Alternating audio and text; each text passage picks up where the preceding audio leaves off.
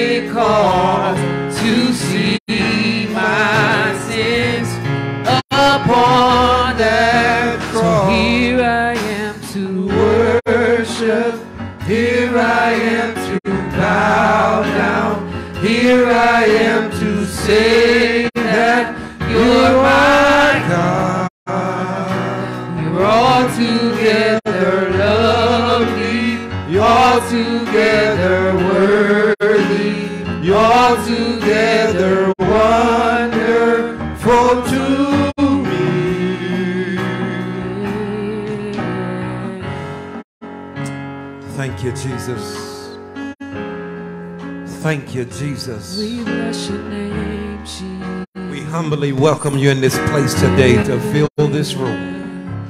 Fill this room. We ask, Lord, that you would just have your way. Oh, yeah. Give us an overdose of your presence so that your will may be done in this place. We welcome you, Jesus. God, we need you to move. We need you, Lord. Move in our minds, move in our bodies, move in our souls. We need you to move things out our way so that we can be more like you and less like who we are. We need you to move in our character. We need for you to move the pain. We need for you to move sickness and disease so that you may be glorified in this place and you may be lifted up in this place. You may be lifted up amongst all men. As you take over in this house on today, God, we yield to your will and your purpose over our lives. You are our rock, our sword, and our shield, our buckler, our strong tower. In you will we trust today. You are an amazing God, Lord. You did it again. You woke us up this morning. In spite of the struggles I had all night long, I still got a praise in my belly. I can still tell you thank you. In spite of wrestling while I was asleep, God, I still tell you thank you.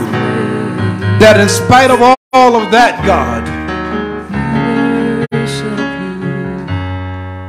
you. you won every battle for me that I ever fought. So right now, Lord, I'm here to worship you.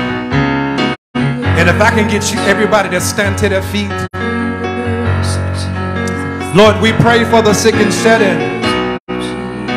We lift up Pastor Terry. We ask God that you will have your way in her life.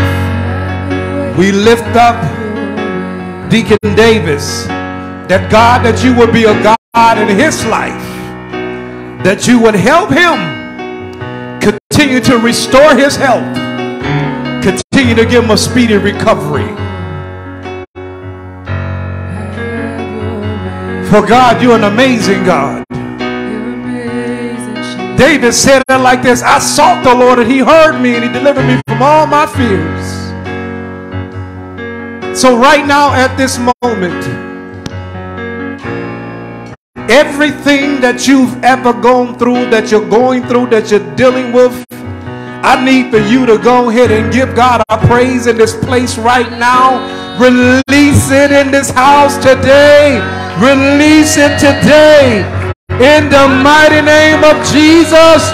Somebody need to stretch out. Stretch out. Stretch out.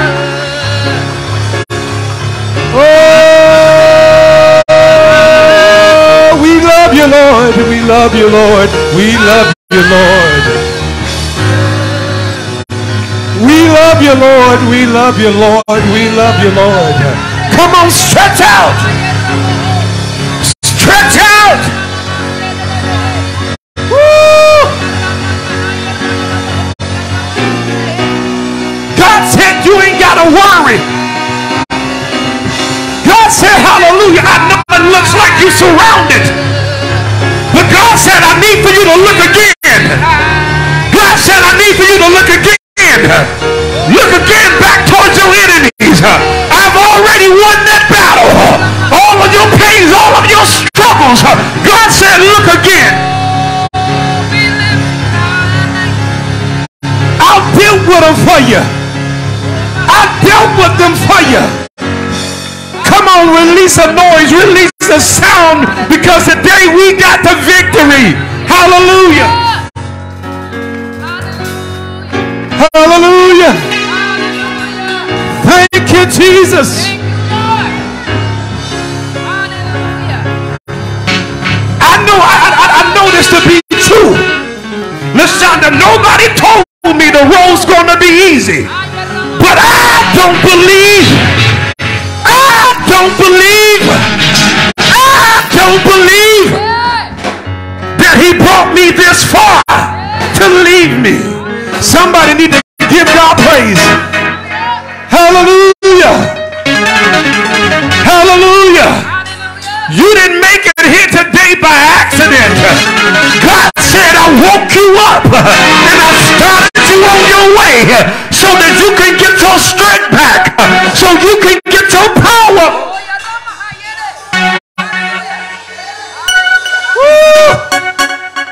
Hallelujah. See what some of y'all don't understand that while y'all was sleeping, hallelujah, while y'all was unconscious, hallelujah, the enemy tried to sneak in and sniff you and take you out. But God stepped up between life and death and said, not today,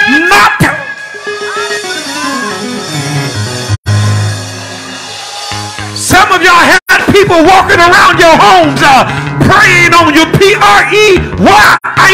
Hallelujah. Praying on you. Hallelujah. That you may fail. That, that-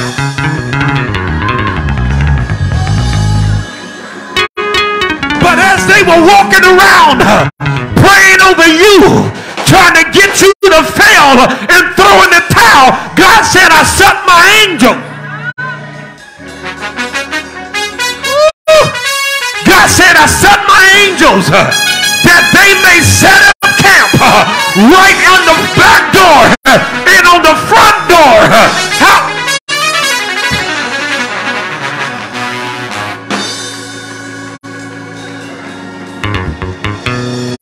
Yes, Lord. Yes, Lord. Yes, Lord. Come on, lift your hands. God said, I blocked it again. Said, I blocked it again.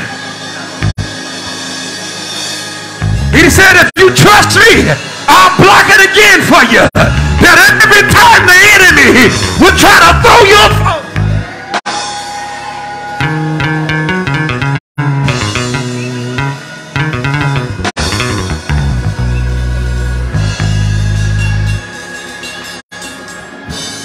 God said, no more striking out. No more free walks to the first base. God said it's going to take you to focus on the ball. God said it's going to take you to focus on the ball. And what you got to do when you focus on the ball is you got to focus that how he's throwing the ball. You let him throw it once and twice. uh, But once you get that mind locked on the pitcher, hallelujah, you got to understand that he's not trying to throw a ball at you. He's trying to destroy you.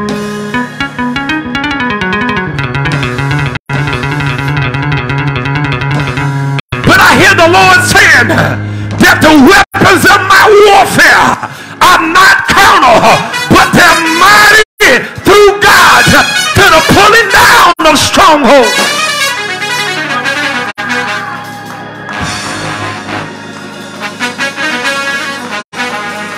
Hallelujah.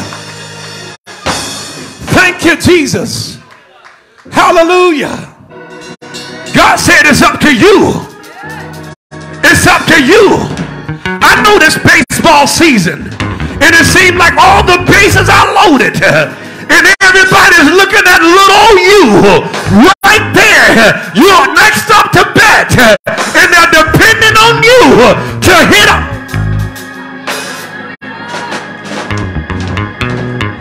Because here's what I like about it. Hallelujah. That, that, that, that if the opposing team turn their back long enough, uh, somebody will try to sneak a base in. Hallelujah.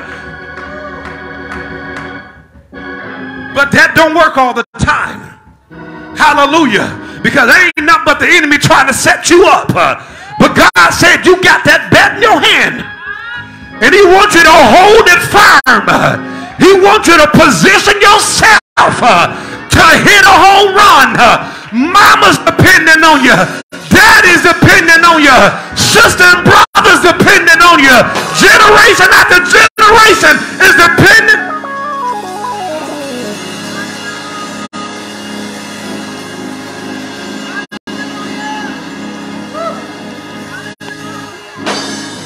See, the thing I love about this is that you can't say I pass because you're the last one in the pen that can bring your family in.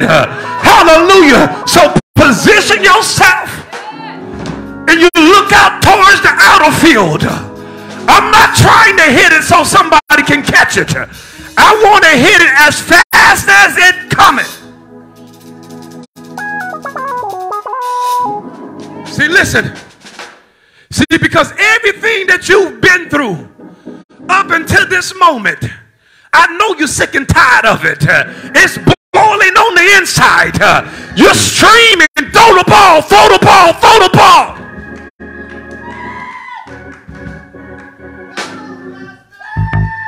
So I put down my ball, but I got to go dip my hand in some powder so I make sure my sweat won't cause me to slip. I want to make sure I got a firm grip because the fastest he throw that ball, I'm going to make sure that I hit that ball even faster. So when he pitch it, I'm already in position for the curveball, the fastball, and the slow ball. So whatever you throw at me, I'm ready for you. And you begin to look at your family. You look at your son. You look at your daughter. You look at your wife. Hallelujah. They're waving at you. Hit the ball. Hit the ball. Hit the ball. And so when the pitcher hit throws the ball, you knock that ball way out of the ballpark. It's that one time that you hit a ball and you hit a home run because everybody was depending on you. So, but I'm going to show you something today. That the enemy threw something at you. And the thing that he threw at you is that he threw something at you to take away your praise. He threw, he threw hardship. He threw headache. He threw all kinds of things at you just to take from you what you was good at. I'm a good worshiper. I can praise God in spite of. So the enemy tries to come in and take from me what's rightfully mine. But I positioned myself this morning. I positioned myself this morning that when I came in the door, I didn't stop and wait for anybody else. I started cleaning up. I started moving things around because I still had a praise in my belly.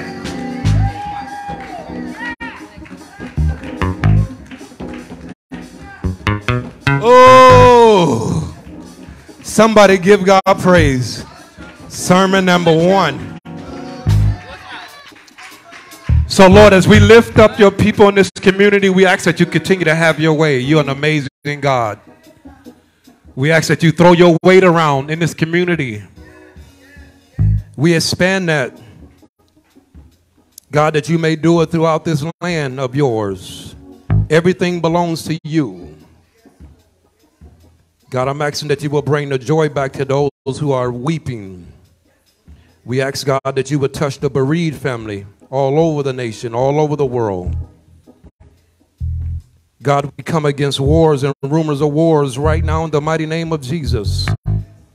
We ask that you bring an end to the war in Ukraine and those other countries that I know not of. That God, I ask that you will bring peace to the wars that we got going on in our homes, in our minds, in our hearts, in our bodies. Ask God that you will settle the devil's dust. And the only way, Lord, we know to settle the dust of the devil is that God that you would send your rain. Somebody say, Lord, send your rain. Send your rain. And the word of God is blessed. Let's bless. Let's give God a hand praise. We're going to we're going to read the scripture on this morning. Hallelujah. I want to thank and praise God for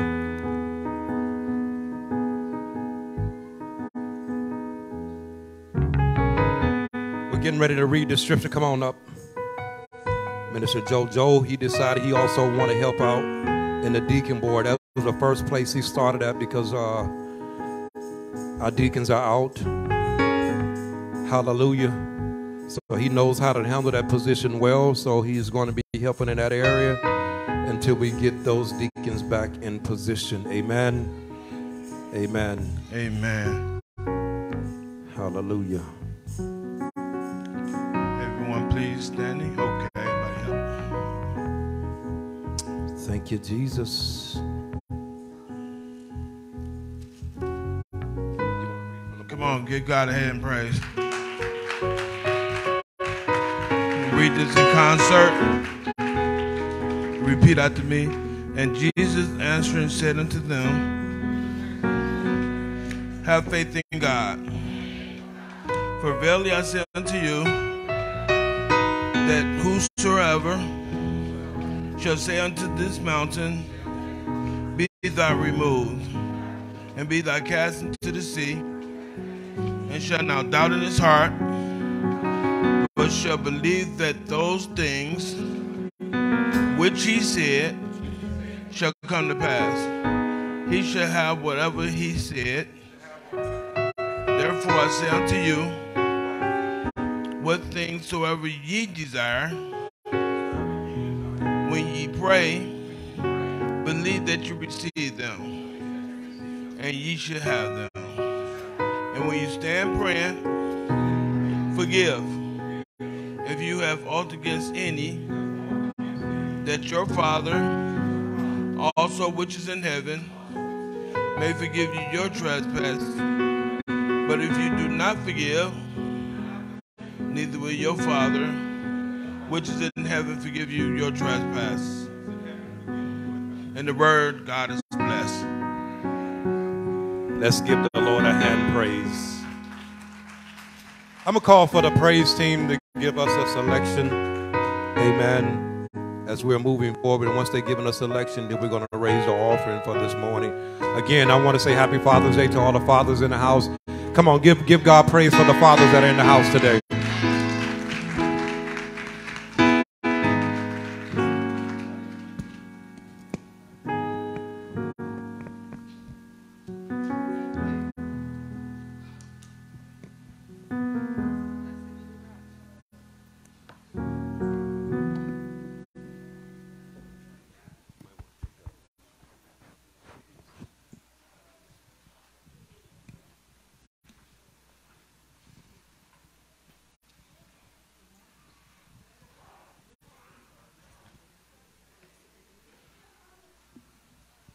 Hallelujah. Come on, let's bless him again. Hallelujah.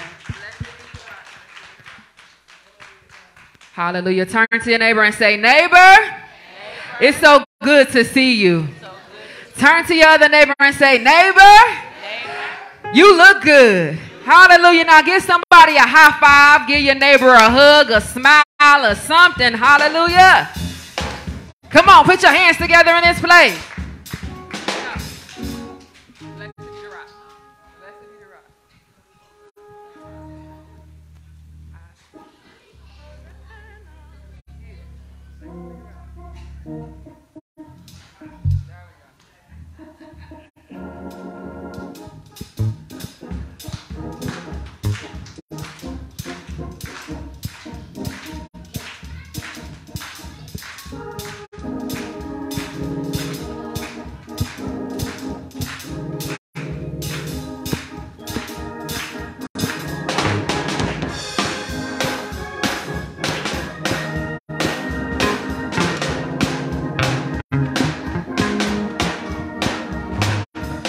I will call upon the Lord.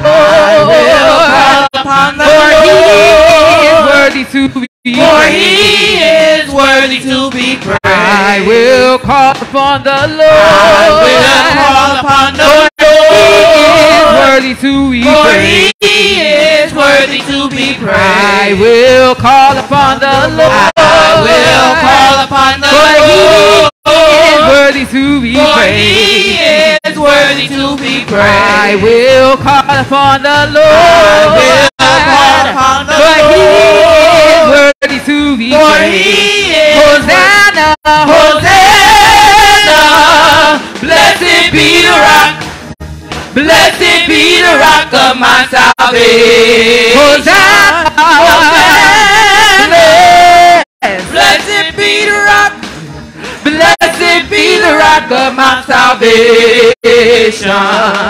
Oh, let's magnify the Lord, for he is worthy to be praised. Help me say, oh, let's magnify the Lord, for he, For he is worthy to be praised. say, oh, Oh, let's magnify the Lord.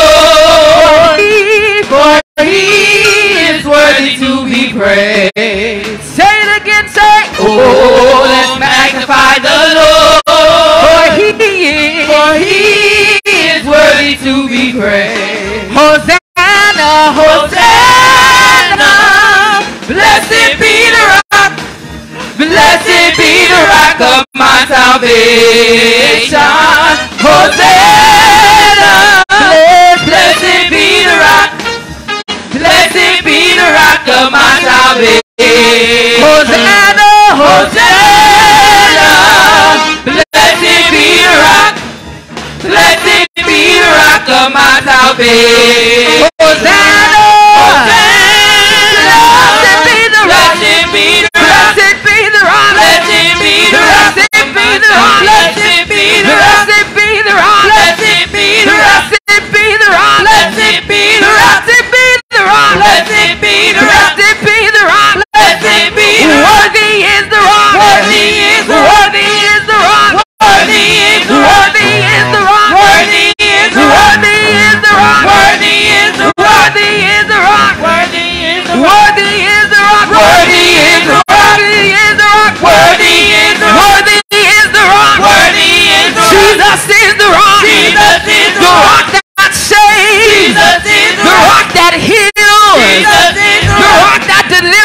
Jesus is Jesus is the rock.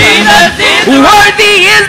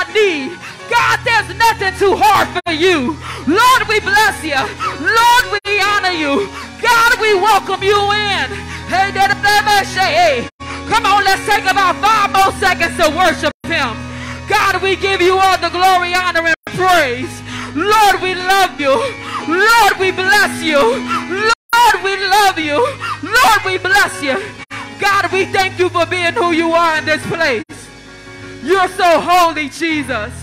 You're mighty. And we trust you, Lord. We trust you, Lord. We have faith in you. Hallelujah, Jesus, Jesus, Jesus. Come on, let's worship him. Let's worship him.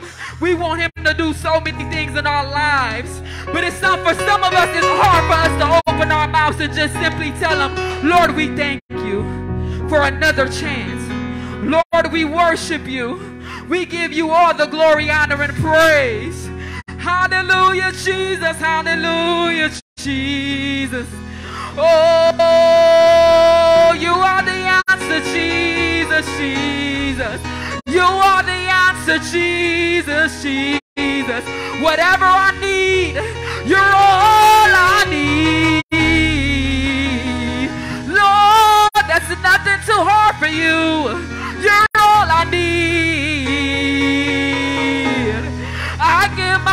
To you, Jesus. I owe you me, Lord. Oh, we worship you. We worship you. Hallelujah. Hallelujah.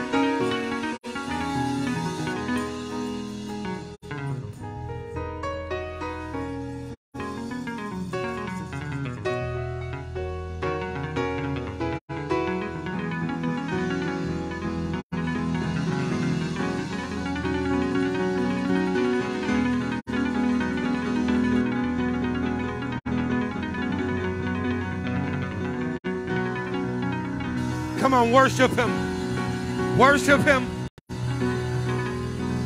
Worship him. Worship him. Worship him. Lift him up.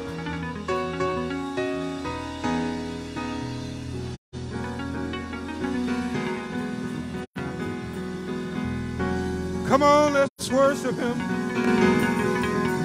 Come on, let's worship him. Worship him, worship him, worship him. Worship him, worship him, worship him. Worship him. There's nobody like you, Jesus. We worship you, Lord. There's nobody like you, Jesus. Nobody like you, Jesus. There's nobody like you, Nobody you, Jesus. Jesus. There's nobody like you, Jesus. Nobody like you, Jesus. You are the Lamb of God. You are the Lamb of God. There's nobody, nobody, nobody, nobody, nobody like you, Jesus. Nobody like you, Jesus. If I can just get a few more people to say, There's nobody like you, Jesus. Nobody like you, Jesus. There's nobody like you, Jesus. Nobody, nobody. We worship you.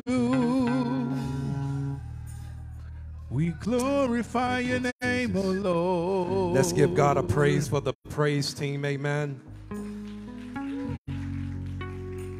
I want to, as pastor of this church, want to thank everybody for coming out to Deacon's Kenneth's homegoing on yesterday. Didn't he? ju- Didn't he go home just right? Come on, give him praise. Amen. We didn't have a funeral because we put everybody out that was coming to a funeral. We put them out. Hallelujah. We told them to go home. If you didn't come home, if you didn't come here for a homegoing, hallelujah. So everybody that was there was there for a homegoing. And God did his thing. Hallelujah. I love the Lord on today. And a lot of us are tired from yesterday. So busy yesterday. Yesterday was a really long day for a lot of them because they were cooking and then they had to clean up what they cooked, uh, cooked that and fed people at. Thank God for Pastor Charles and a veteran's manor for let them use that hall. We give God praise for that. Amen. Thank you, Jesus. And now again, my condolences go out to Joanne. My condolences go out. Our head usher. But God has now received our head deacon. Hallelujah. But we still got a piece of him right here. Amen. His lovely wife. Let's give God praise for her. Amen. And then I want to say for his eldest son, Cornell Rogers, we want to say thank God for him. Let's give God praise for him.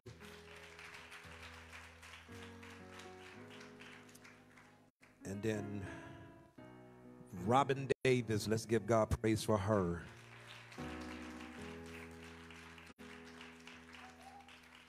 and his middle daughter, Endora Cannon. We want to thank God for her. Let's give God praise for her. But we cannot forget his mother,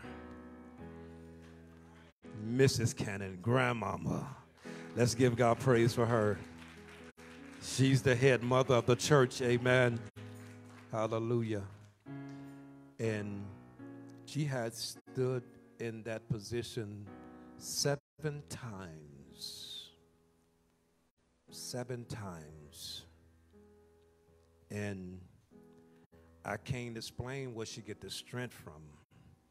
I don't know. I've never put in that situation before. But I know if any mothers that lost a child understand what she's going through. But seven times, not at once a couple times, two in a year, back to back. But she's still standing. And just like I said, I still got a praise, and she still got a praise in her body. Hallelujah. We want to thank God for her. Amen. In her absence on today, she was busy.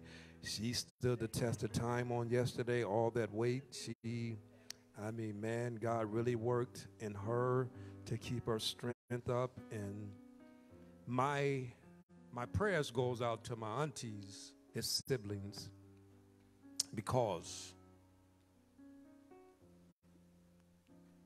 besides probably one or two of them were here when the first one came, but I know all the ones that are living at least saw six of them go home to be with the Lord.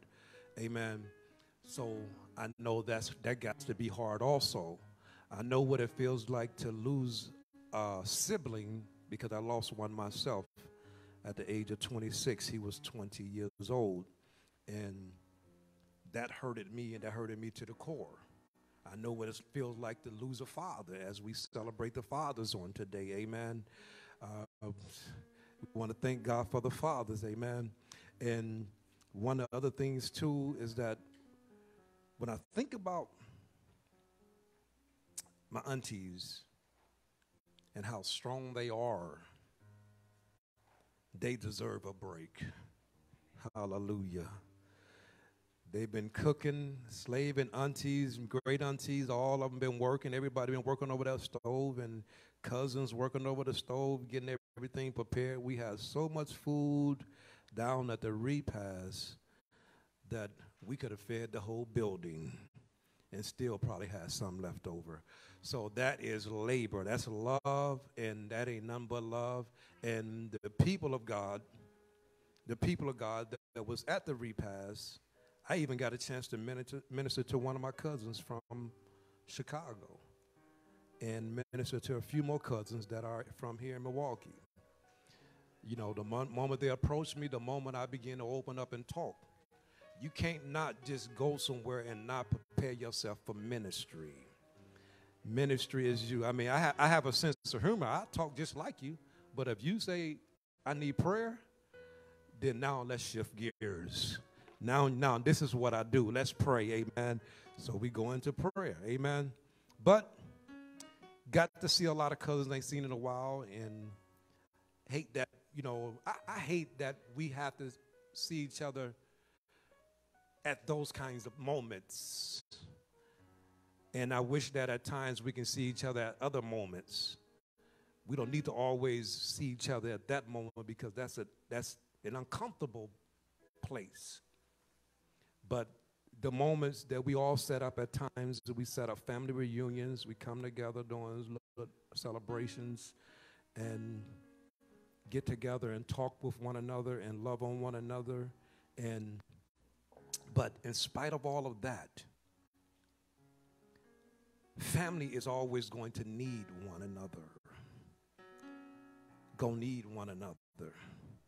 And i believe that in my heart that I can't carry nothing in me against anybody. And there's a lot of leaders that still carry hurt and pain against people, against loved ones. But yet, I feel to me, I feel that's a waste of time to me. Because I got too much in my day I could spend doing something else to be wasting my time worried about somebody else. So why don't I just step back and just keep them lifted up in prayer? And we'll meet again on that page later on down the road in another chapter. Amen. That, that's the way I think right there. Come on, somebody give God praise.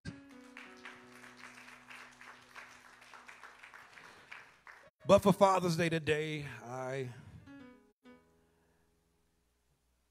my wife gave me my gift earlier. And she was missing one thing in there. Spaghetti and some Jiffy mixed cornbread with some ground beef mixed in there, honey. Amen. Hallelujah. We'll get that later on. Amen. Amen. My beautiful wife, I thank God for her on today. Amen. She really took she really took that to heart, losing her uncle, uh, being able to have him in our life for so many years and got to grow real close to him he not only became like a father to me, but he was also like one to her. When you're used to seeing people every day, when you're used to getting a phone call from somebody just about every day, hallelujah. Not just when he got sick, but just getting a phone call from him every day when he wasn't sick, amen. And just that when you're used to that, then you say, when the phone call stop, then you start thinking about it. I still got some messages saved. If I want to hear his voice, I can always go back and hear him say something. I can always go back on the videos. We got videos going all the way back 10 years. So, how many weeks in a year? 52. So, 520 videos he was probably probably only missed 20 of those videos from the times that he was in the hospital, not just this time, but in 20, I believe 18 when he was in hospital. And them the only times that he missed. So probably about 20 weeks out of the whole 10 years. But God, somebody say, but God. Amen. Amen. Let's stand to our feet. We're about to receive our offering on this morning. Amen. I want to thank you, Sister T, for stepping up and Stand in mm-hmm. position, amen. Amen. I only am I only want to I only call her by that name T because I don't know how to say her name. And if she told you her name, I applaud the ones that could say it.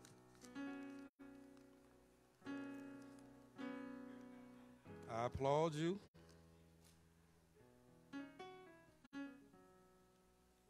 Because the way it looks on paper is not what it says. And if you say her name wrong, she's going to correct you real quick. Amen. Amen. Hallelujah.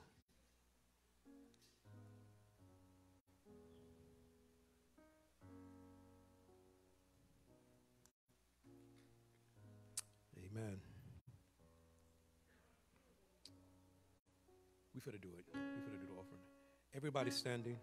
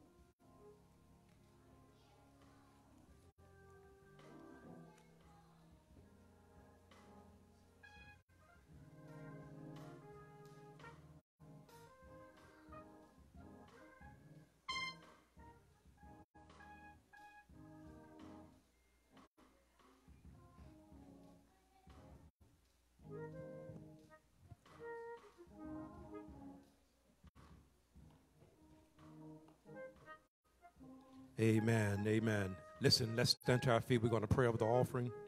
Amen. See if I can get Pastor Hibbler to pray over the offering.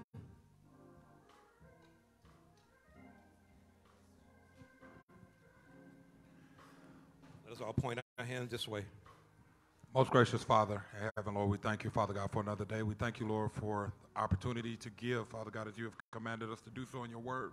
We pray, Father God, that everyone, Lord, who came, Father God, Lord, will be blessed, Lord, tenfold, Father God. We thank you, Father God, Lord, for those who had a willingness to give, Father God, but had nothing to give. Lord, we pray, Father God, Lord, that you continue to bless all of us, Father God, Lord, that we become before you not empty handed, but Father God, Lord, with blessings, because we know, Lord, that we can't beat you giving, Lord, and the only right thing to do is to attempt to do so, Lord, that we will be blessed, Father God, us and our families. We thank you and we bless you in Jesus' name. Amen. Get ready, get ready, get ready. Amen. Get ready, get ready, get ready.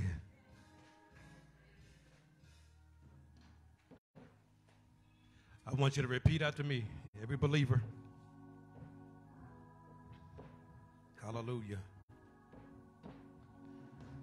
Lord, enlarge my territory.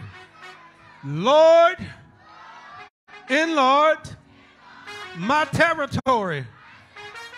Lord, enlarge my territory. Now I got one more thing to ask you. Won't God do it? Won't God do it? Won't God do it? Now give God a radical praise.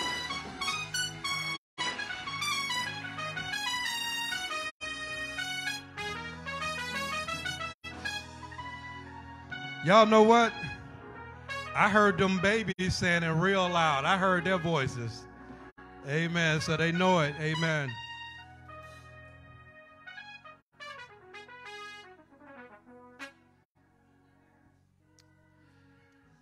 To believe in the heart, you ask anything according to his will, he'll give you the petition of your heart. Hallelujah. Somebody say, Lord, do it for me. Mm. I, I love it when we say that the choir's going to get ready to come and sing another selection. Amen. And then the next thing we're going to hear is the word. Amen. And I love it. I, I love it when we say that is because when we're asking God for something to do something great in our lives, He does it in a way that He sets us up. He don't set us up for failure, but He set us up to come up. But a lot of us don't like the way He set us up to come up because it makes us uncomfortable at times when God begins to do something in our life. And when he began to do something in our life, we got to understand one thing right here is that it's going to make you uncomfortable. And when it do make you uncomfortable, you really got to trust God during that time. And that's just simply saying that when God is working in your life, God is working things out of your life so he can work completely and wholeheartedly in your life. So therefore, if he got to move something out of your way, so he can get you to that destination and that place that you asking him to get you to. So if you asking him for a house and you start describing a house to him, God said, now I got to get you the job to get the house. Because if I just gave it to you, you might not be as grateful as you would be if I bless you with it going this way right here.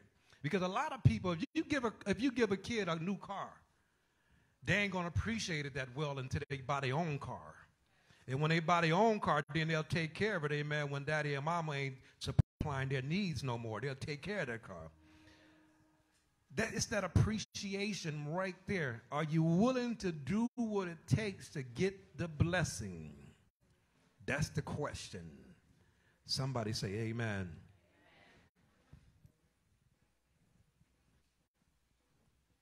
Hallelujah. Come on, let's bless his name again.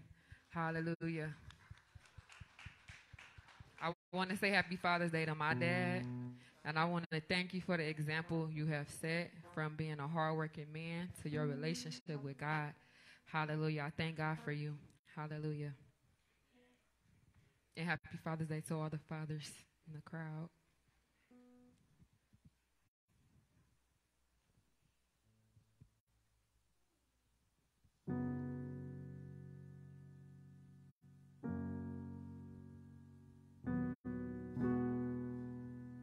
Hallelujah, Jesus.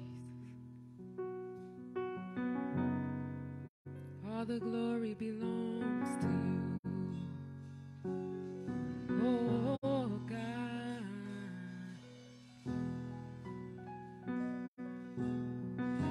All the glory belongs to you. All the glory belongs to you, oh God.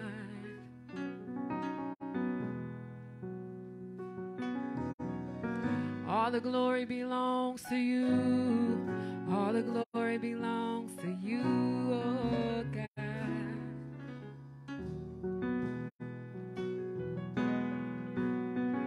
All the glory belongs to you. Glory belongs to you, oh God. Yeah, yeah, yeah. All the glory belongs to you. All the glory belongs to you, oh God. Help me say, all the glory belongs, all the glory belongs to you. All the glory belongs to you, oh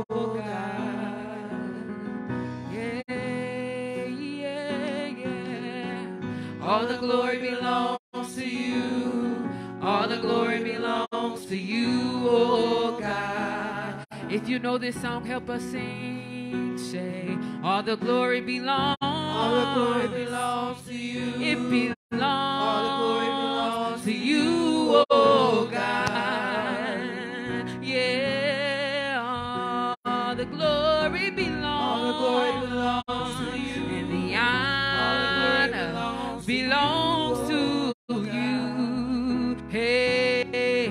come on, lift it up and say, we say hallelujah.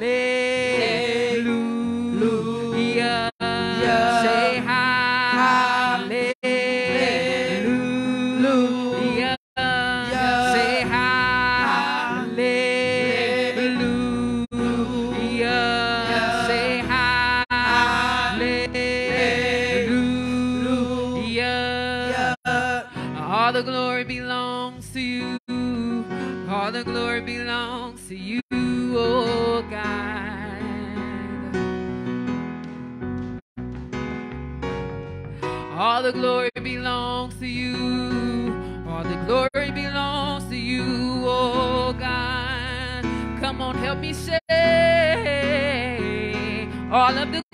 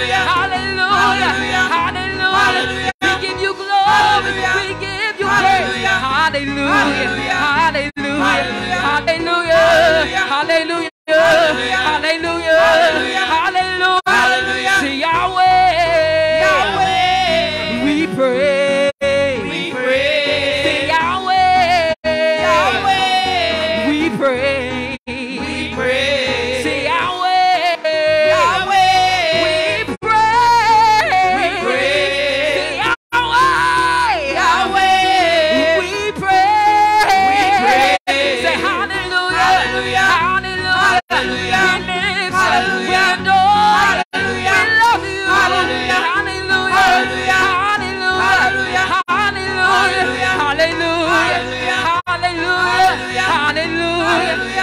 Hallelujah. Hallelujah.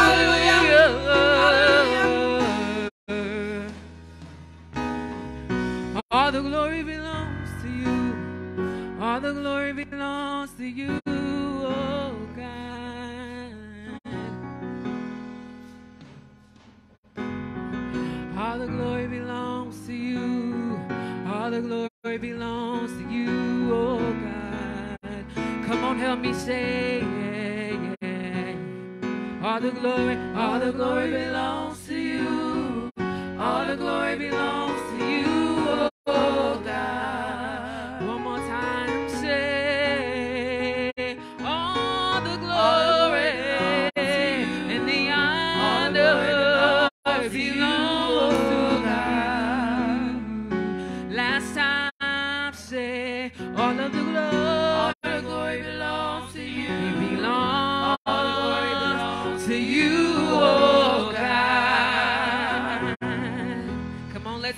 in this place.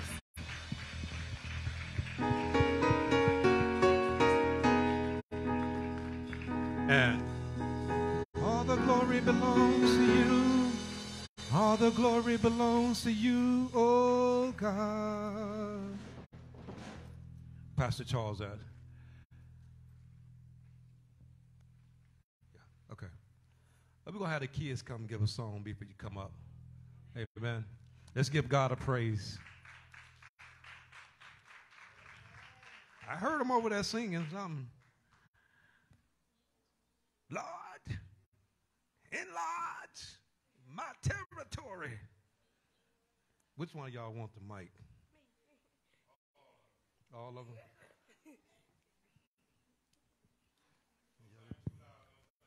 Check. Okay.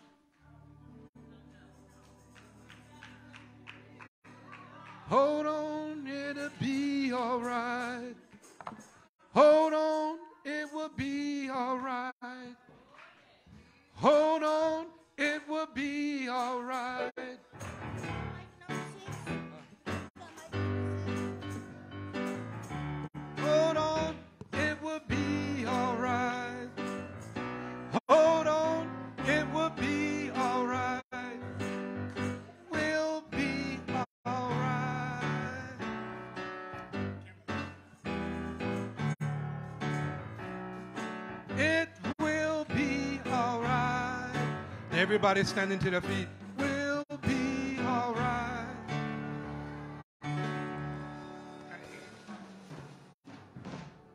Amen. Yes, it will. It So- will be. Hold on. All it will be all right. Praise the Thank you, Lord Jesus. God Almighty. Hallelujah. Y'all did wonderful. That was awesome. Come on, give God a hand praise for the children. That is so beautiful. Praise God. That was just awesome. I'm going to open a word of prayer, then we'll go into the word. Father, in the name of Jesus, God, I thank you. Your blessing, health, and strength. Thank you for your goodness and mercy bestowed upon us. Thank you, Lord God, for giving us another chance and didn't count us out. Every time we made mistakes and falling short of your glory, yet, God, you are merciful towards the unmerciful. We ask, oh God, right now, you forgive us for our sins, oh God. knowing, unknowing, cleanse our minds, our hearts. Give us a clear focus on you, God. Remove the busyness of the day, the things we're planning in our minds that we want to do when we leave this place. But let your word bring conviction in all of our hearts to change us from the inside out. The way we have a God encounter like never before. We thank you for everything that's been done so far. We thank you for the shepherd, his house, his wife, his family, God. We thank you for the, the praise team, the worship, the musicians, Father God. We thank you for the congregation. Even those who had to leave early, God, we bless them in the name of Jesus. That you would touch their lives in a supernatural way, God, to inspire, to edify, build them up in their faith to trust you. Father, we are faced with challenges. We're faced with storms. We're faced with issues. Some with physical issues, some mental issues. Father, some emotional issues. But yet, God, we know that you're sovereign to heal us all. And so you would be glorified. As we decrease, you would increase. And we thank you in Jesus' name. Amen. Amen. Amen. Amen. I, I want to thank again everyone who came over to the repast and also those, uh, Sister Cannon and Sister Vivian and many other Yvonne who assisted in the cleanup after it was a challenge. My God, was it a challenge? And I, I was, uh, they had a cooler. they put ice in the cooler, right? Didn't have a cap on the bottom. So when ice started melting, water just going everywhere. I had to find a mop bucket. I'm over there mopping. I clean it up. Lead come back and more water flow again. I'm like, Jesus. I tell you, it was it was something. It was interesting. But I, I thank God because the people behaved themselves. No one got out of character. It was a beautiful celebration. And God really just blessed tremendously. I didn't get done after everybody left to about 7.30 myself after I had to go behind everybody, make sure everything was the way the office wanted, the way it was when I got the room. So I thank God for the management in my building who trusted me to be able to use the facility with no charge. And I mean, that was a blessing. No, amen. That's right. That's, that's the reason to praise them. Because normally they charge $200 deposit just rent their room. And I thank God that He didn't allow them to charge me, but showed me favor. I was talking to my mother yesterday. I was telling her about it. I said, I said, Mom, I said, you know what? I said, we got this funeral service, homegoing service. I said, we have a repast in my building. And I said, God is so good because I was able to get this room what they needed because they were trying to find a space to accommodate all the people that they anticipated that were coming to the repast. And I thank God. My mom said this to me. She said, You know what, son? She said, God has really showed you favor throughout the years. You just like your daddy. And when she said that, I, and even on the prayer line yesterday morning, I was um, ministering to everyone on there about open up their mouth. Because day, every day we have prayers six days a week for my dad's church. And I have a men's prayer on Sunday. And every day, it's only the certain people that open their mouth and pray or even say something. And I felt the spirit of my dad come up to me, the Holy Ghost, and said, The word says, let everything that hath breath praise the Lord. I said, You don't have a reason to come on here every morning. Don't say a word. You know who you are. You constantly do the same thing week after week for a whole year. Don't say a word. So you can't even tell God, thank you. That just vexed my spirit because I said, I'm sick and tired of God's people saying I love God, saying I'm living for God, but I can't open my mouth just to tell him thank you. Say he woke you up this morning. He didn't have to do it. You've been through illness that could have took your life. He didn't have to heal you. And, and I said, but you know what? We all have something. He just say, thank you, Jesus.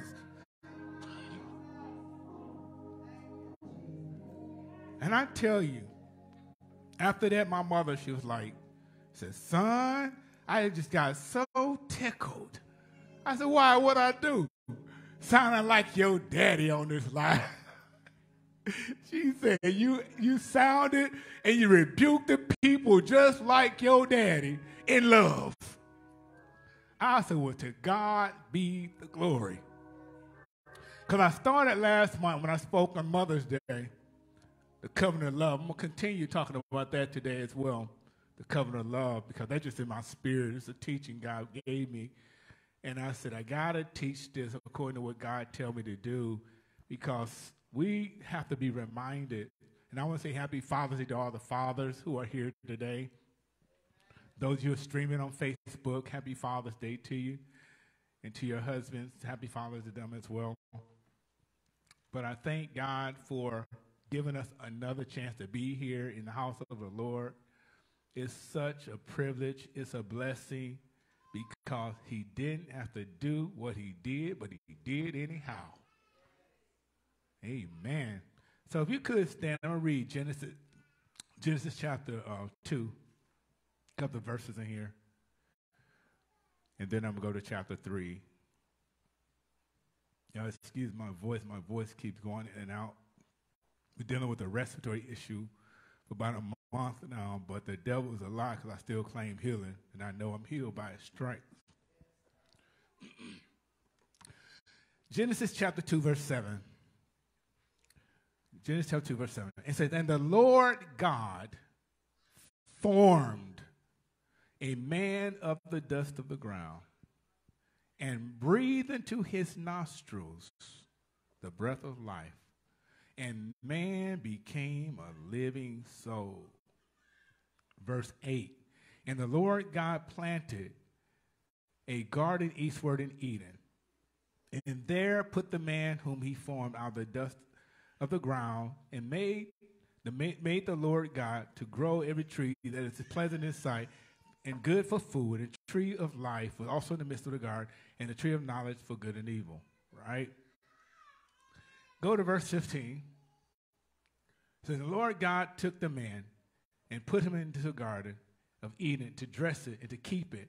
And the Lord commanded the, commanded the man, saying, Of every tree of the garden thou mayest eat it freely, but the tree of knowledge of good and evil thou shalt not eat of it. For in the day thou shalt eat thereof, thou shalt surely die. Right? Go to verse 21. The Lord God caused a deep sleep to fall upon man, Adam, and he slept. And he took one of his ribs and closed up his flesh instead thereof. And the rib which the Lord God had taken from the man, he made he woman and brought her unto him. And, and, and Adam said, This is now a bone of my bone and flesh of my flesh. She shall be called woman because she was taken out of man. Therefore shall the man leave his father and his mother, and shall cleave also to his wife, and they shall be one flesh. Excuse me.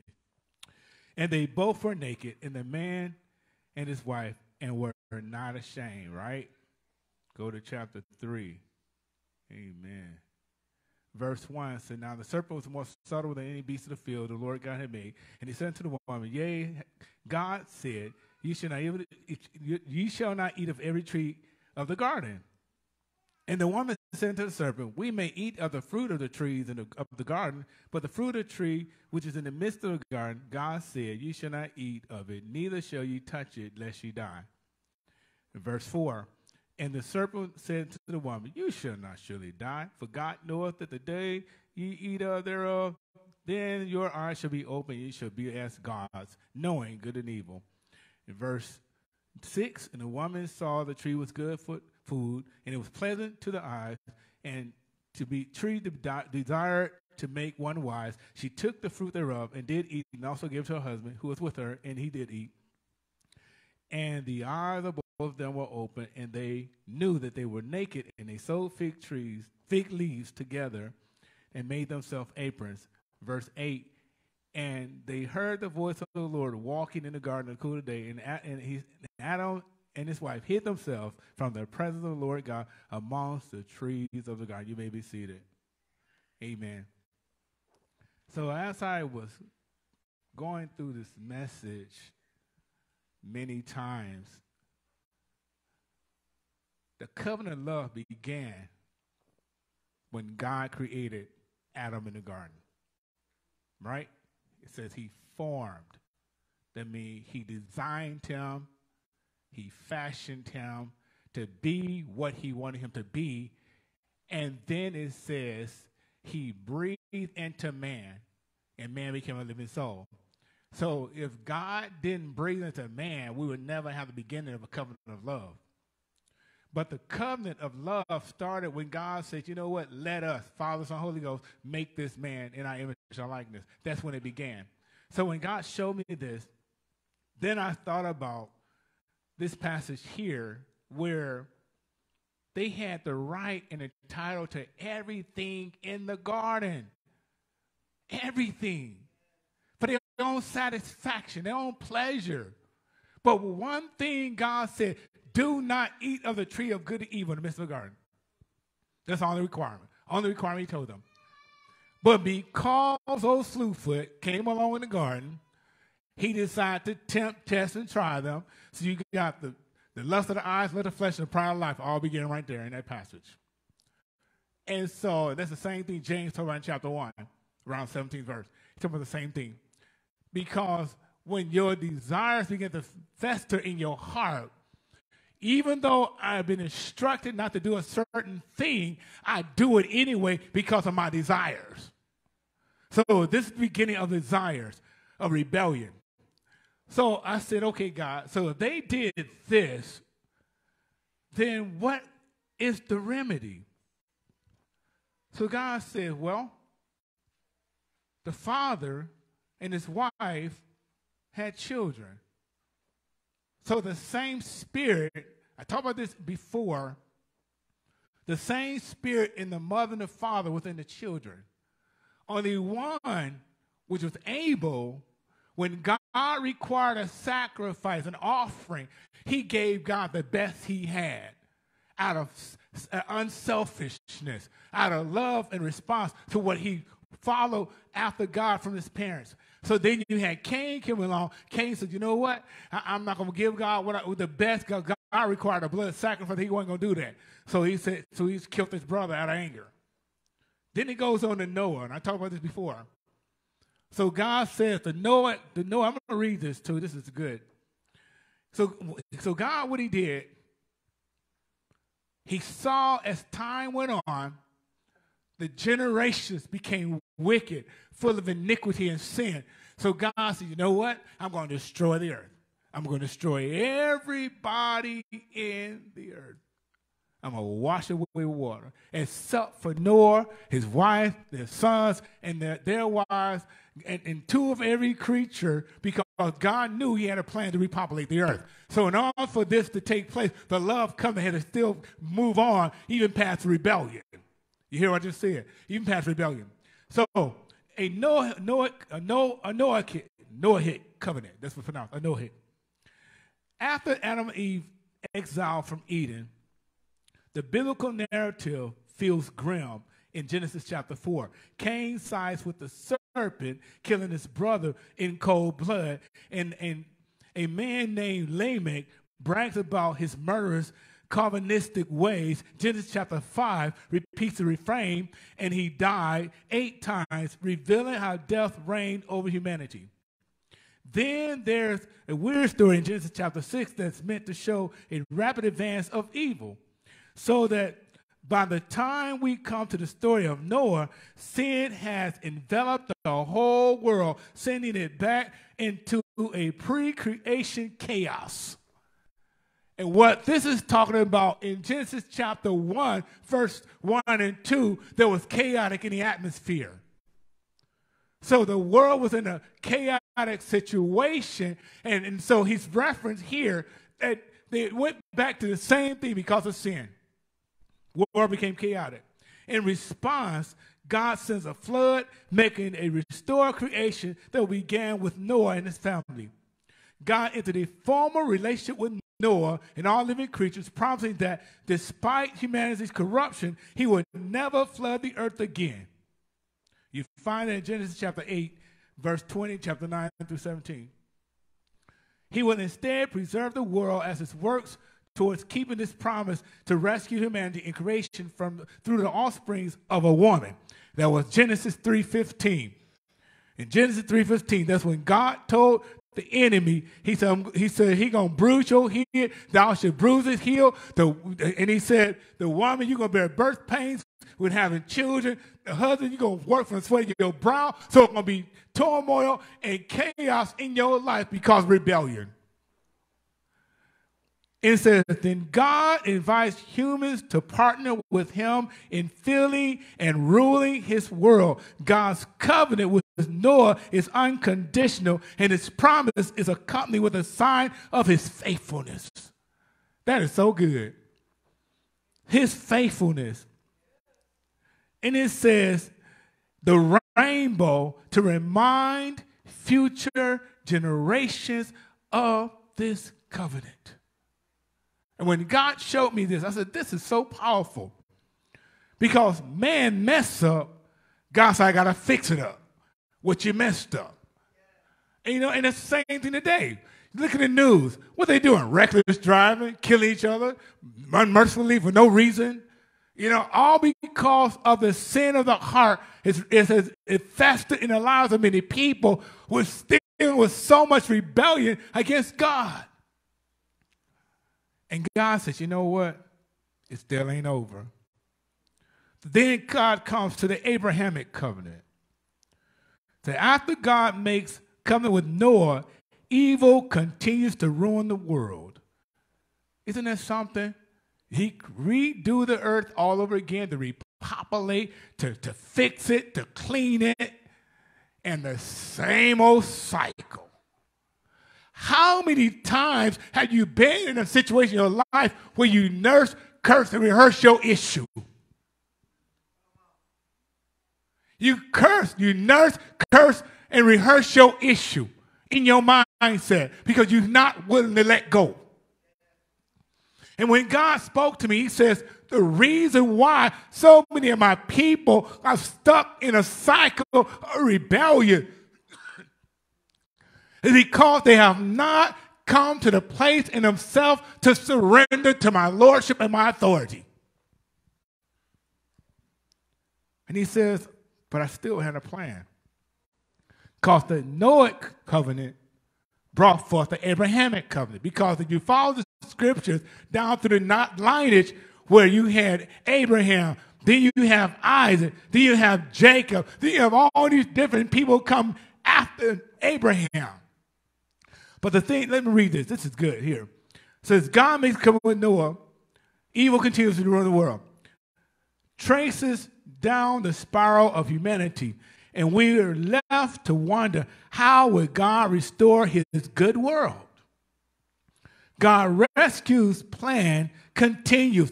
He calls Abraham into a covenant relationship. That is so awesome. God says, even after Noah, the world still went rapid into wickedness and sin and iniquity. So I still got a plan. I come to tell you today that God still has a plan, even in your mess ups in your life. You might have a jacked up relationship, a jacked up husband. But God says, you know what? I still got a plan. Woo, Jesus. Because one thing about it, the scriptures remind us that I cried unto the Lord and he heard me and delivered me from all my fears. So whatever comes to your life to bring fear in your heart, God, I hear you before you utter a word from your mouth. I hear you and I still have a plan. My God. Then it goes on he called Abraham to a covenantal relationship. This redemption partnership between God and Abraham is developed progressively. It means it's through a time span. He promised Abraham a huge family that will inherit a piece of the land in Canaan and bring universal blessings. I love this here. God promised Abraham that I'm going to make you the father of many nations, right? We all know that. We heard it many times on television, radios, wherever you've been in church. They always talk about God said, Abram, Abram, come out of that country to that from that kindred to a place I'm going to show you. He said, I'm going to make you a father of many nations. I'm going to bless you and your seed. Everything you touch is going to be blessed. And we go going to be blessed. Because he loved us so much, he said, I still got to enunciate the plan.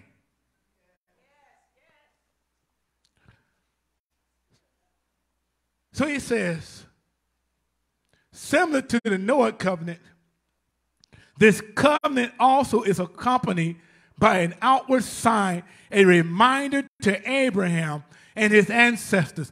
God's command the, the men to be circumcised. And th- this is interesting. God says when a child becomes at least seven, eight years old, you got to circumcise them, right? Because God knew that because I love mankind so much, the cutting of the foreskin of a male child is a symbolization of my love in covenant, that we're bound together. Just like you remember back in the old days in old movies when, when, when they, they made a agreement with each other, they would cut their finger, they touch each other's hand with the blood on it, because that means I got a blood covenant.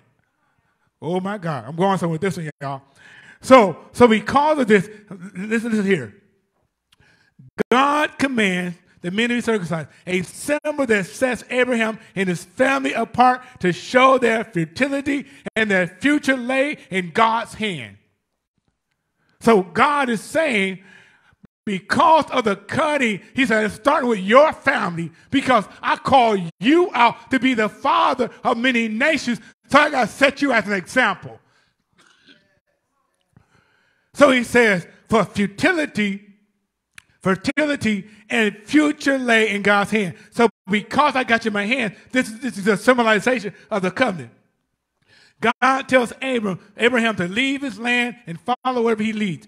Train his family to do what is right and just and practice circumcision in every generation.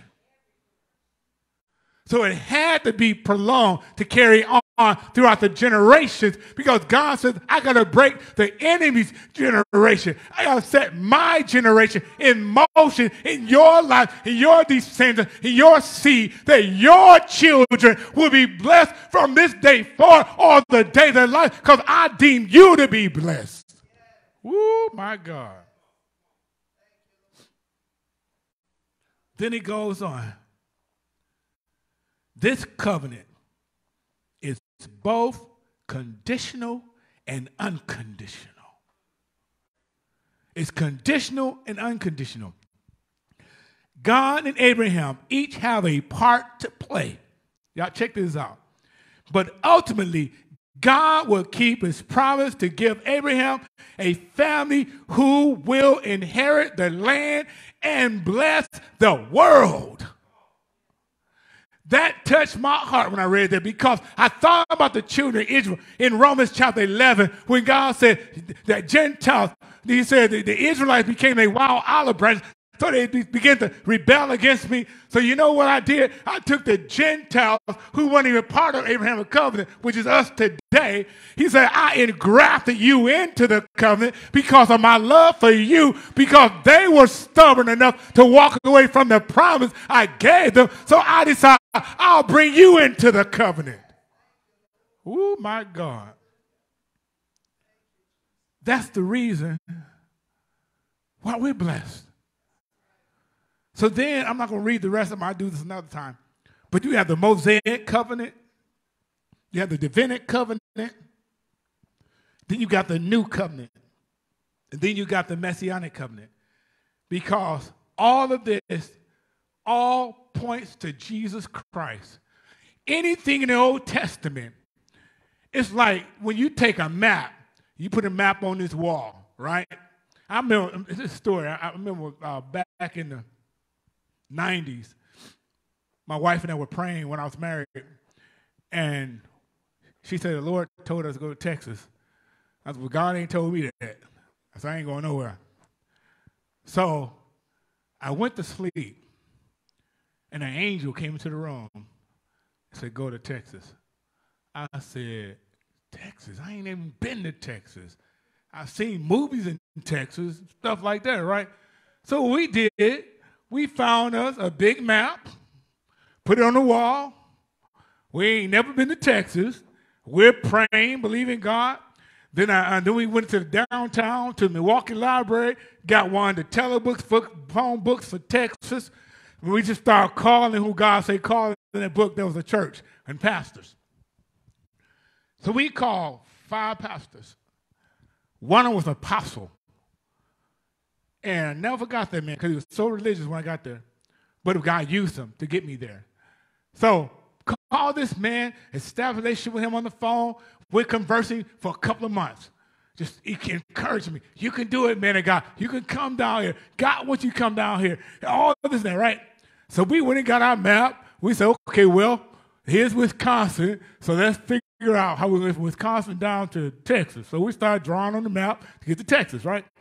So as we did this, when we finally got there, we made it downtown Dallas, and we didn't know where it was at because we never been there before. So I called the man of God. He came and met us. Went to his house, and, and, and the man of God said, Yeah, I'm glad you came. Praise the Lord. You know, God going really got great things for you, and, and, and he to really use you. He a Matter of fact, you're a pre- preacher. You can sing in my church tomorrow. Now I'm like, Okay, I come way down here just to sing. As a God, you got jokes. so, to make a long story short, Got to church that Sunday morning early for service start. Meet him in the office. He says, Man of God, you hungry for God. So I can see it all over you. But your wife, she needs to sit down and be taught. I'm like, wait a minute. You don't know nothing about my wife.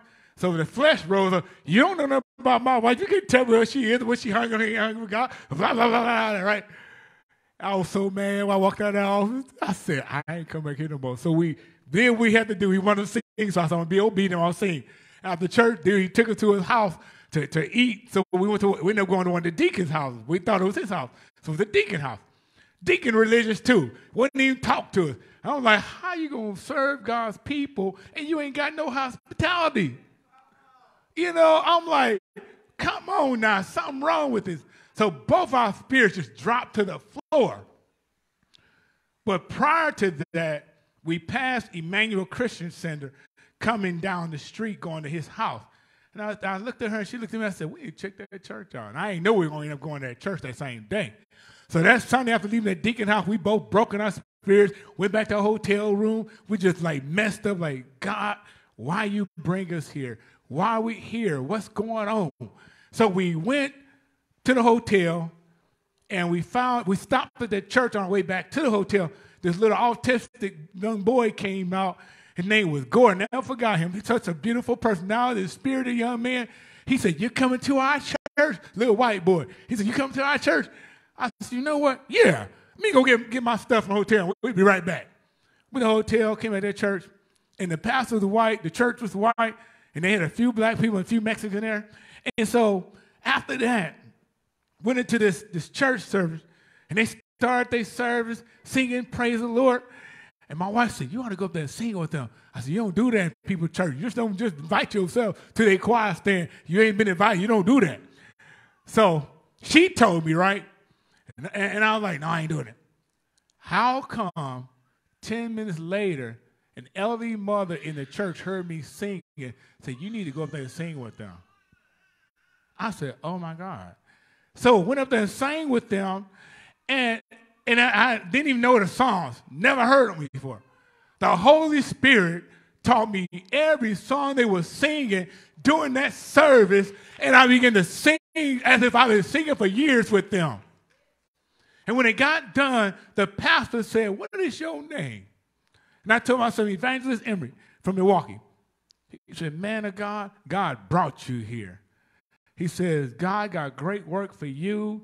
He said, He's going to use you in the ministry. You got great calling in your life. Your wife got a great calling in her life. And, and she got birthed in this prophetic dance during that service.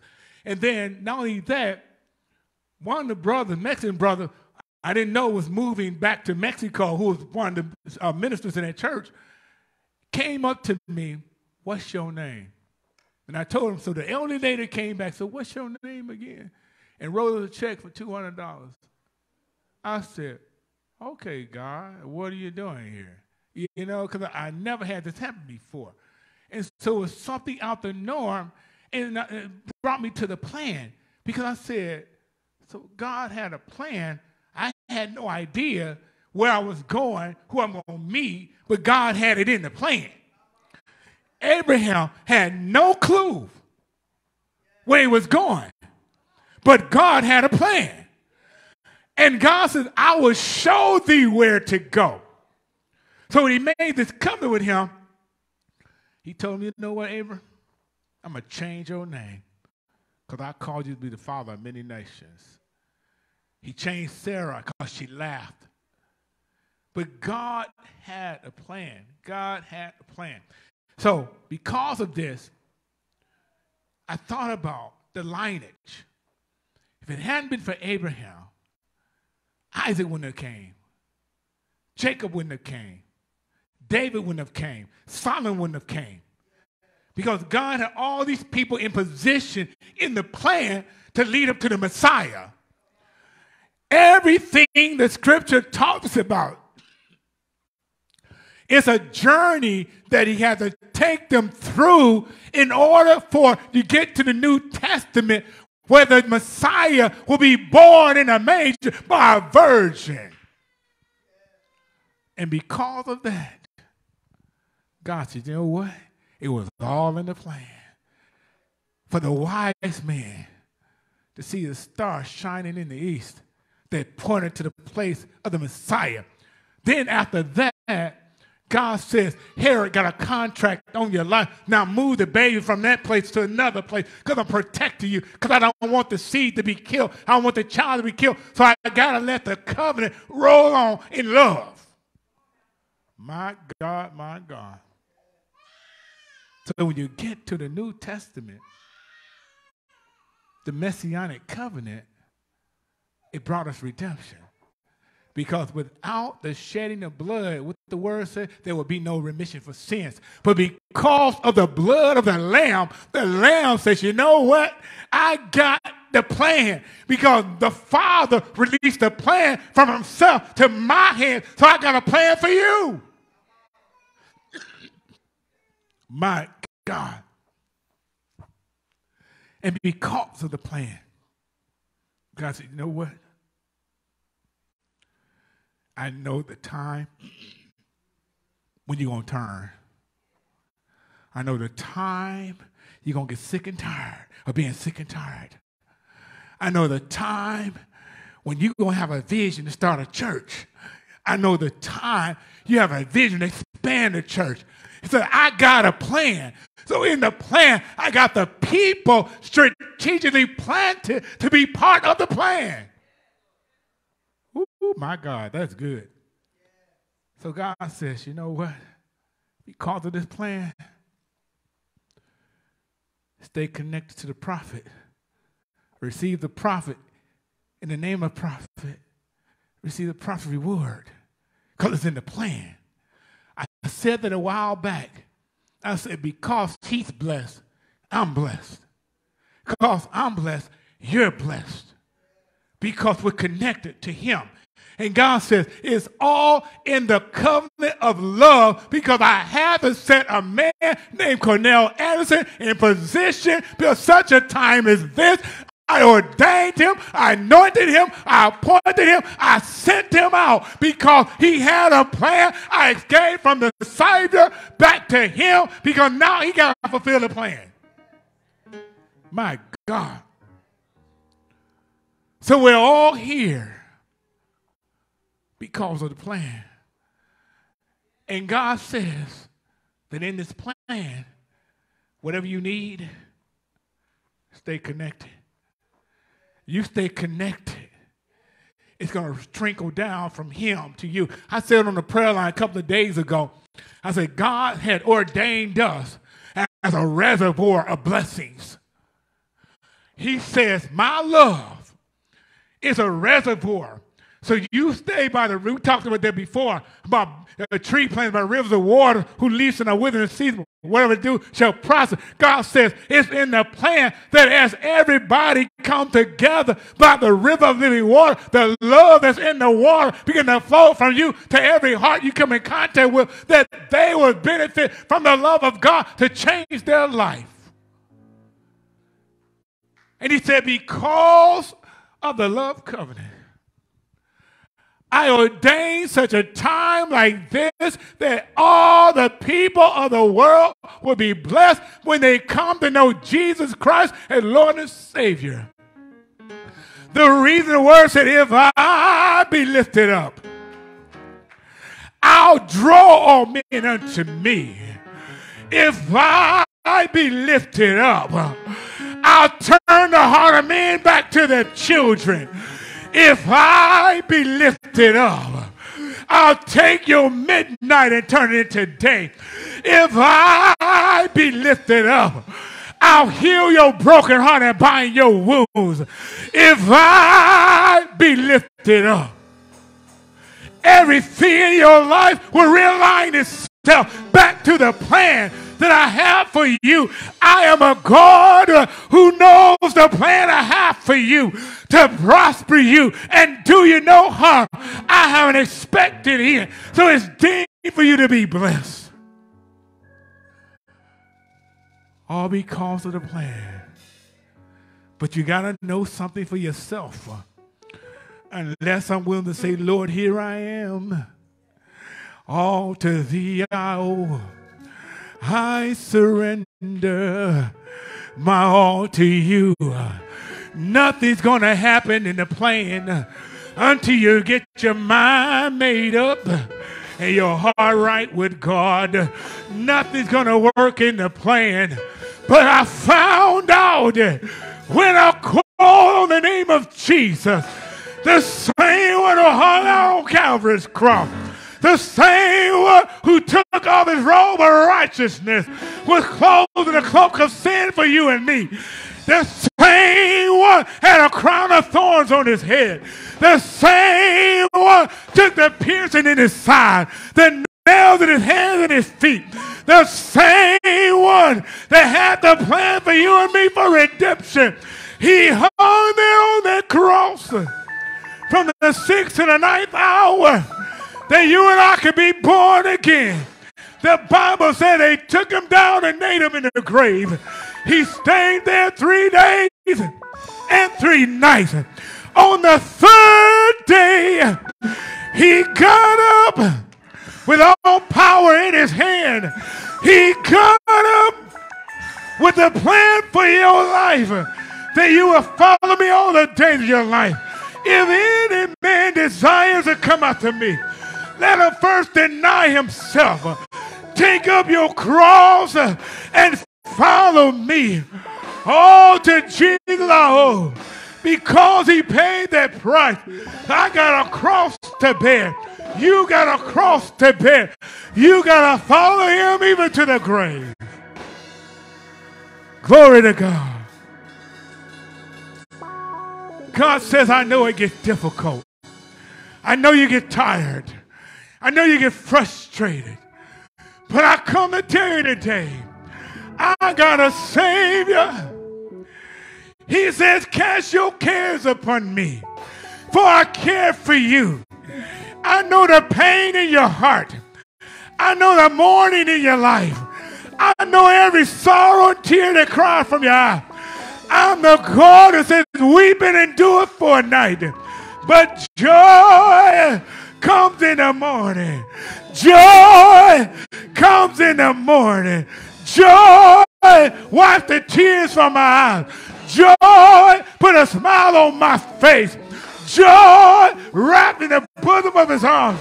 Joy caused the covenant to flow in my life. Glory to God.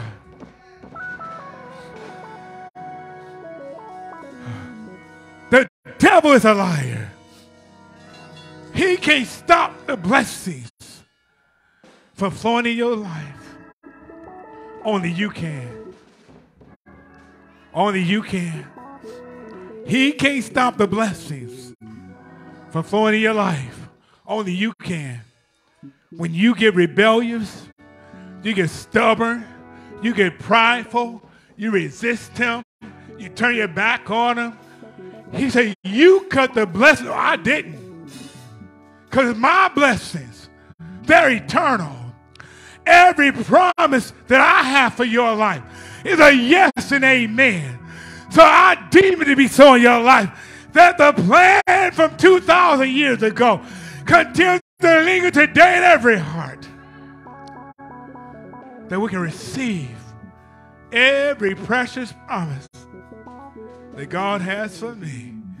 It is for me. It is for me. It is for me. Every promise. It is for me. It is for me. It's for you today. All you got to do, once you stand, all you got to do is receive it by faith. The word tells us we going to make mistakes. For all the sin and falling short of the glory of God. But one thing about God, I got a plan. You might slip, I got a plan. You, might fall down, I still got a plan. And then my plan is called elevation. Because if you humble yourself in the midst of your falling, said, I'll reach down right in that place where you are. And love will lift you up because it's in the plan. The covenant plan is eternal, it cannot be revoked. When the king makes a decree, he seals it with a signet ring to deem it to be so in your life that nobody, I don't care who it is in your life, cannot come and revoke the covenant of love I have for you. Because his word tells us that I have loved you with an everlasting love. By my loving kindness have I drawn thee.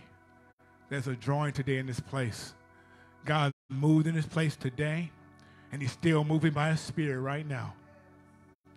Whatever your situation is you're dealing with, let it go. Let it go. Because he can handle it. You can't. He can fix it. You mess it up. He'll take the storms and cause it to be a blessing. We take storms in our life and get stuck in a dark place. But he says, Arise and shine, for thy light is come, and the glory of the Lord is risen upon thee. I come to tell you today that God says, if you rise up in a desperation cry, says, My light will shine upon you, and the glory will fill your tabernacle. How many of you ever experienced the glory filling your tabernacle? I have many times. And it's not like anything else. When God fills you, you can't be empty. Because he said, He will fill your cup till it overflows. You know why? Because there's people, everybody in this place got to reach. So I got to fill you up. I got to have you, allow you to live in an overflow. Because there are people need to hear your story, hear your testimony, how God changed your life. And God says today, I'm causing a spiritual elevation in each one of you today.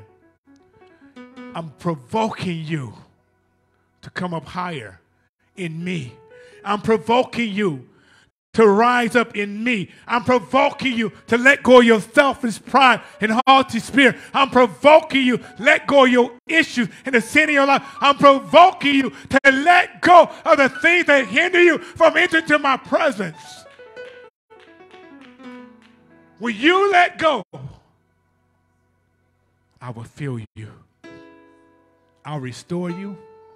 I'll revive you. I'll refresh you. I'll cause my sovereignty to reign on you, to soak you because of the love covenant. So repeat after me, Heavenly Father, in the name of Jesus. God, I thank you for your word today. Let your word penetrate deep in my heart to change me that I have a God encounter like never before, that a greater anointing would fall on me because of your love. Forgive me for the many times I walked away, I failed to trust you, I failed to surrender to you. But today, God, I thank you. There's the spirit of restoration into this place. Now restore me, cleanse me, perfect me, change me, that I be more like you. In Jesus' name I pray. Amen. Amen.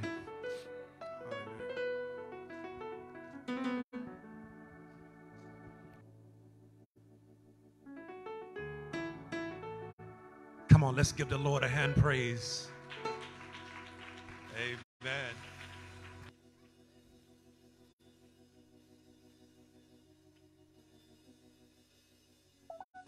Let's give the Lord another hand praise for that message.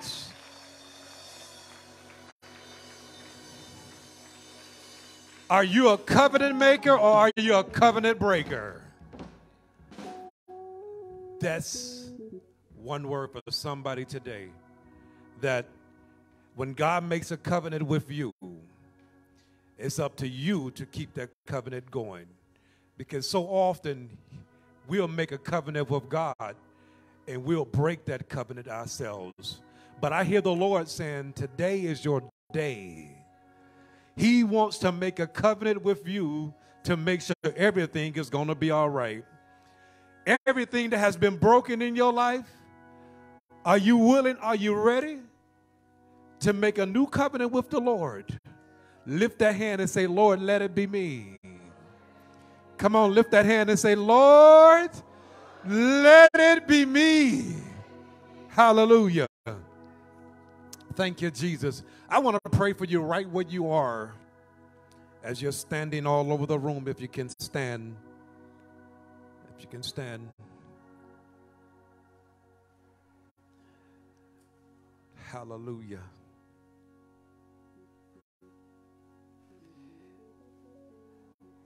I figured out that even when Adam and Eve ate from that tree, their minds were open and they realized something about themselves. And they realized even at that moment they broke something, broke a covenant Sometimes we'll find ourselves in a disobedient mind, that mindset.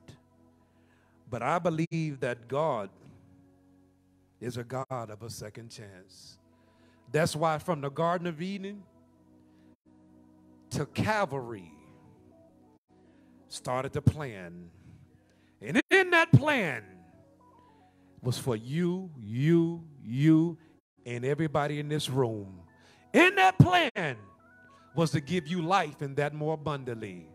It wasn't, it, wasn't to make you feel bad, but it was to give you the opportunity to give you life so you can stretch out and say, Lord, I thank you. So, all the things that we have been through in our life, we got to understand one thing that God loves you so much that he gave his only begotten Son that whosoever shall believe in him shall not perish but have everlasting life. I love the Lord to this point, this depth right here, that even when we're going through something, we got to know that we can call on one God. We can call on that name of Jesus. Anybody know that name today? Anybody know that name to be a healer? Anybody know that name to be a redeemer? Anybody know that name to be a deliverer? Anybody know that name to be a heart fixer? Anybody know that name to be a mind regulator? Anybody know that name? Hallelujah. Now, if you know him to be those things, I need that every believer to know that he can do those things to give God a shout of praise in this place.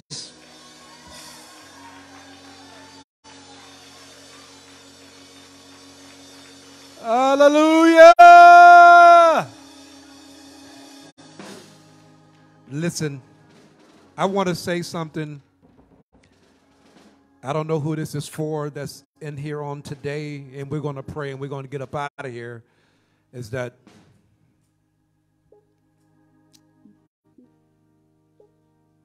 that just like the serpent was in the tree, we have serpents in our lives that sits amongst us sits in our homes, sits in the church, trying to alter your perception of your belief. And the moment you find yourself in disbelief and find yourself in a situation where you have disobeyed God, it is that very moment that conviction becomes on the inside of you. You'll find your own conviction that I felt something wasn't right. I kind of knew something wasn't right. But God would open your eyes in the midst, in the midst of your trouble, in the midst of your trials, and He will help you see the very thing that He wants to reveal to you. Somebody say, Lord, open my eyes. Open my eyes, Lord. See, because as long as we allow it to happen, it's going to continue to happen. It's going to continue to wreck your mind, wreck your body, destroy you inside out. I've been talking about the implosion and explosion on the outside. And I saw something the other day and I was I was reading, a matter of fact, I was reading on and it was talking about the eggshell. An egg was in that egg a bird, some kind of bird or some kind of, depends on what hatches that egg, determines what's coming out of the egg. But nothing comes out of the egg if I walk up to the egg and break it. What happens? The egg, what's in the egg dies. But what's on the inside of the egg, if it breaks out, guess what? It lives. So if somebody else break the egg, it dies. But if you break out of that egg, God said you'll live.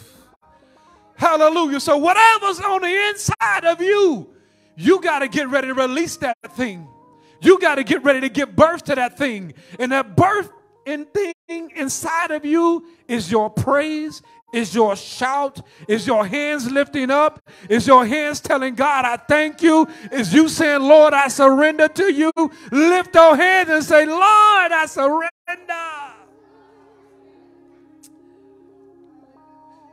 So lift your hands. I want to pray for you right where you're standing at, right there.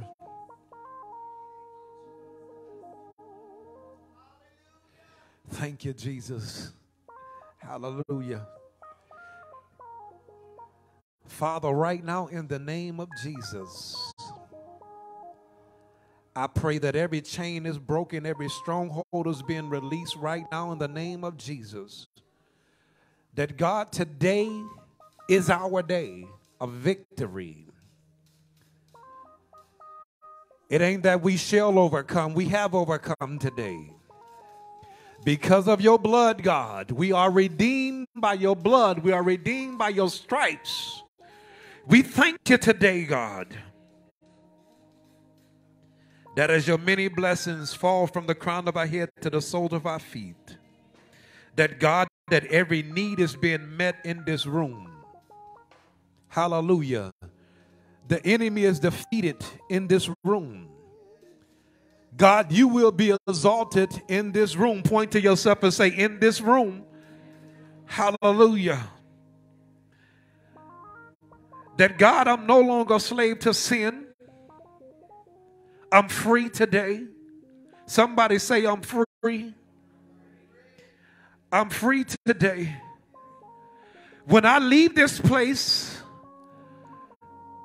Lord, when we leave this place, we're leaving something behind. Because when we enter back into our domain, we're going to find peace, we're going to find joy, we're going to find love, we're going to find everything that we need when I enter back into my domain. That every broken thing that's in my life is being repaired. Everything that I have lost is being restored right now in the name of Jesus. My children that were lost, they're being found today. They're finding their way home. Lord, I thank you because I no longer have fear. I have faith today that I can do all things through Christ that strengthens me. I want you to say that with me. I can do all things through Christ that strengthens me. Somebody give God praise and say amen. Listen, I, I, if you believe that God is doing a new thing in your life, won't you just give God another praise right there? Hallelujah. You know, I want y'all to keep the Cannons family lifted up in prayer also during this week. Amen. Hallelujah. And I want to give y'all some good news. After 30 years of being married, we finna do it again. Hallelujah. And you know, if we're still alive, we end that. We want to thank God for everybody that's watching this live. And you know that even though after 30 years, we learning something every year, every day about one another. And every time you mention the word marriage, the enemy gonna try you. He don't care if you've been together 10 years, if you're gonna redo it again. Hallelujah. He's gonna try you in every which way. But in spite of all that he has been trying, seven more days. I do again. Amen. Hallelujah. And I am so excited. I'm so excited. And I can't wait. It's going to be a four day event pretty much. So that means it's going to be very long, but it's going to be beautiful. You know, we all we all dream of that that that that one perfect marriage. Not, you know, not that marriages are perfect, but just that ceremony. You want it to be prestige. And I believe it's going to be great. I got friends coming from Texas, and I got friends coming from here in Milwaukee, Chicago, pretty much all over the place. My kids are coming down. We're about to celebrate. And I believe Khadijah was born when we first got married. She was just a toddler. She was just handheld, just probably not even a month old. Not even. Yep. And my wife was holding her, and we still got pictures of all that. We were walking down the aisle. I like, man, I was 21 then. Good Lord. Jesus. Now look at me now. I still feel 21 at times, but I ain't finna jump off no, jump off nothing, cause I don't. I, I might not feel like I can take it like I did when I was 21. Amen. Jumping down the stairs. My grandson said, "Jump like this, Papa." I'm like, "No, you can do it." I believe I can do it if I really got to, but if I but if I ain't got to jump right now, I'm not finna do it. Hallelujah. Your daddy can do it, amen. He might got some good knees on him. I don't want to try my knees out. I'm I got 51 years on these knees, amen. Hallelujah. But I know if I gotta jump, I will jump. I'll jump off the second floor with them in my arms if I had to. Amen. But again, lift our hands, all hearts and minds, and we're finna ready to go home. Happy Father's Day again. Amen. Hallelujah. Father, right now in the name of Jesus, as we get ready to go from this place, but never from your presence, may you rest, rule, and abide with each of us until we meet again. Let the church say, Amen. Amen. We're dismissed again. Happy Father's Day. Amen. We were so